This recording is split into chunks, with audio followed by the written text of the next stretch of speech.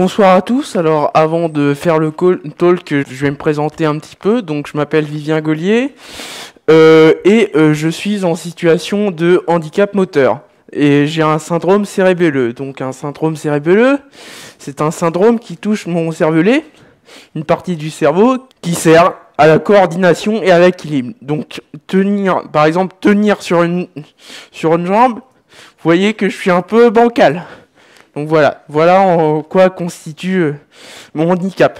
Et donc, euh, je me suis demandé un jour, avec les avancées de la science et des technologies émergentes, avancées conjuguées au mythe de la recherche de l'homme parfait, on peut imaginer que le handicap, les, les maladies génétiques et autres types de problèmes disparaîtront dans les prochaines décennies.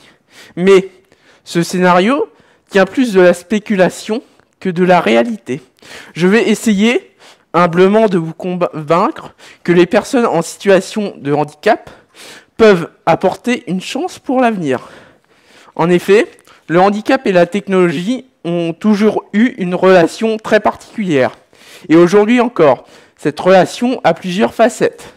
Premièrement, les personnes à bénéficier en premier des, des progrès techniques, notamment en domotique, en robotique et en décennie, avec notamment euh, les membres bioniques, les, les, les, les, les, fauteuils roulants, les prothèses, euh, sont les personnes handicapées.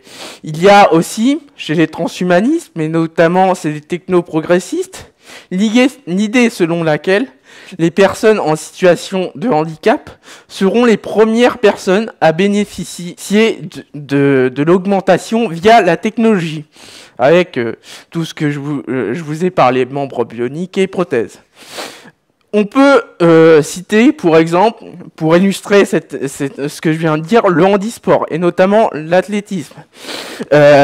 Chez les valides, la question qu'on se pose depuis plusieurs années, c'est est-ce que l'homme va courir un jour le marathon, donc 42 km et quelques, en moins de deux heures Des expériences non conformes aux règles ont été tentées, peu concluantes, alors que, grâce au fauteuil roulant sportif, les personnes en situation de handicap peuvent le courir en 1h20. Dans un sport qui ressemble plus euh, à du vélo que euh, vraiment à de la course à pied. Mais euh, voilà, pour vous dire que grâce à l'amélioration des technologies et des méthodes d'entraînement de ces sportifs, euh, notamment dans les domaines de sprint, de longueur, de saut, on pourra les, les athlètes amputés et handicapés pourront bientôt, je le pense, être plus performants que les personnes valides. Et plus télégénique peut-être. Peut-être qu'on aura les Jeux paralympiques avant les Jeux olympiques. Le contraire de maintenant.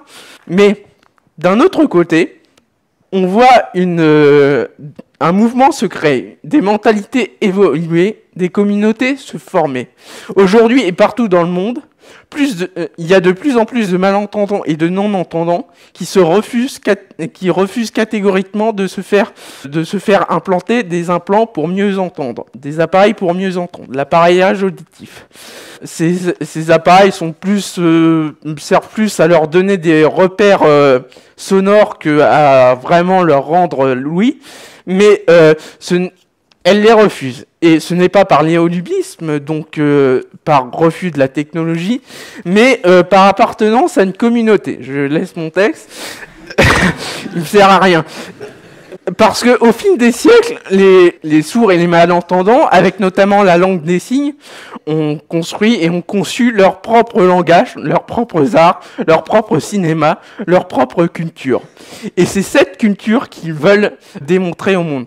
Et euh, par exemple, je vais prendre un truc tout bête, ils possèdent leur propre jeu paralympique. C'est-à-dire qu'ils ont, ils ont créé des Deaflympics, des jeux olympiques uniquement réservés aux sourds et aux malentendants. Donc maintenant, ils, disent qu'ils ne sont plus handicapés, mais qu'ils sont différents. Vous voyez la nuance? Ce mouvement peut se rapprocher des euh, mouvements d'émancipation, euh, par exemple du mouvement de droit des femmes, ou, du, des mouvements d'émancipation pour les droits euh, aux minorités de couleur, par exemple les Noirs américains en Amérique ou encore les LGBT. Plus récemment, les autistes ont aussi créé leur mouvement de protestation et de revendication de droits civiques, la neurodiversité. Étymologie rappelant la biodiversité qu'il faut à tout prix conserver. Ce mouvement des droits civiques, prenant pour symbole le sigle infini et le drapeau arc-en-ciel, est similaire aux malentendants dans de nombreux points. Ils ne veulent plus être considérés comme handicapés, mais comme différents, et veulent continuer à développer leur propre culture. De plus, l'autisme a une place importante dans le développement de l'intelligence artificielle. Selon les experts, leur cerveau qui serait beaucoup plus enclin à avoir une meilleure mémoire et une meilleure créativité euh, peut euh, nous aider à, euh, à résoudre les problèmes que nous causent et développer surtout les intelligences artificielles et les comprendre. par exemple, dans la Silicon Valley, où il y a notamment des, des, des grandes entreprises de développement de la technologie et, euh, de, et euh, dans l'art aussi avec Disney et tout ça, on veut passer de 2000 autismes qui travaillent actuellement à 100 000. Voilà. Notamment chez Microsoft, pour leur recherche en intelligence artificielle. Mais euh, ce qu'il y a de bien dans le terme de neurodiversité, c'est qu'il est ouvert. Par exemple, les autistes l'ouvrent aux personnes qui ont des tocs et des problèmes psychiques.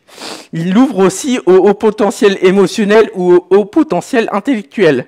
À l'instar de beaucoup de pays, ces enfants ne sont pas reconnus comme euh, enfants pouvant développer des handicaps sociaux. Euh, euh, au potentiel intellectuel et au potentiel émotionnel, c'est le type de à plus de 130 de, QI que tout le monde va imaginer prix Nobel de physique ou médaille fils dans quelques années.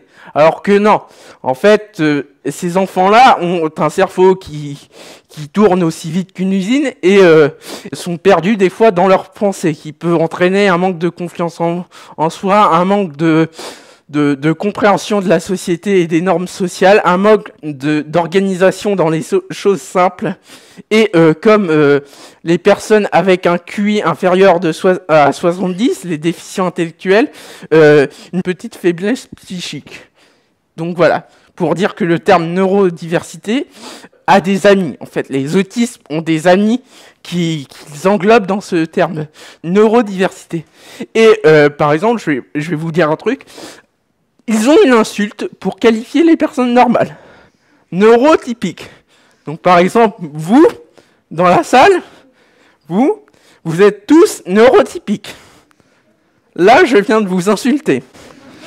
Donc j'espère que ça se passera bien après entre nous, d'accord? Je, m'excuse auparavant si je, si je, dans la salle il y a des neurotypiques assurés. Euh, excusez-moi euh, du fait, euh, je ne voulais pas vous, vous perturber dans votre neurotypicité. Mais bon, mais le spectre du handicap est, vaste et peut donner le vertige, et, et quelquefois paradoxal ou contradictoire toutes les choses positives sur la différence que je viens de vous énumérer et de vous raconter en, étant que, en disant que c'était une chance pour tous et pour l'avenir, car ils n'ont pas la même vision du monde que nous, et que cette vision du monde peut nous apporter, peut nous permettre de nous améliorer et d'avoir un monde meilleur et un futur désirable, ne reflète qu'une partie du spectre du handicap. Les malentendants, les malvoyants, certains autismes, car euh, chez les autistes, 70 sont déficients intellectuels et 80 sont, euh, non autonomes, donc ne peuvent pas se débrouiller seuls. Euh, mais pour les polyhandicapés, ceux qui ont une déficience intellectuelle combinée à un handicap physique, cela peut aussi entraîner leur entourage à être dans la misère et dans l'isolement. C'est malheureusement ce qui se passe pour beaucoup de familles en France alors qu'ils ont, comme tout le monde, les mêmes droits. Les droits aux vacances, les droits à une vie sociale, les droits d'aller boire un verre à Grenoble ou dans, des lieux branchés euh, partout en France. Donc voilà, il faut aussi que notre société aide ses parents et ses personnes à ce que le handicap ne soit pas un poids ou un fardeau pour, pour conclure et pour essayer avec vous de construire un futur durable pour l'homme, Il nous faut radicalement changer notre vision du handicap. Qu'il ne soit pas l'erreur qu'il faut à tout prix corriger, mais plus, mais plus la petite chose en moins qui peut apporter une petite chose en plus. Comme l'illustre très bien Tyrion Lannister dans la série super connue Game of Thrones, c'est peut-être pas le, le, le, meilleur personnage à l'épée, mais à mon avis, il sait se débrouiller en charisme et, en, humour. Ou encore dans cette même série, Bran, qui ne pourra plus marcher, mais à qui on, on a promis de voler. Et pour finir, j'aimerais vous, vous citer euh, Hans Asperger. Donc euh, le nom Asperger, ça devrait vous rappeler quelque, chose. Hein? C'est comme Henry Ford, euh, on sait à peu près ce qu'ils ont inventé, qui dit que tout ce qui est anormal et donc qui sort de la norme n'est pas nécessairement inférieur. Je vous remercie.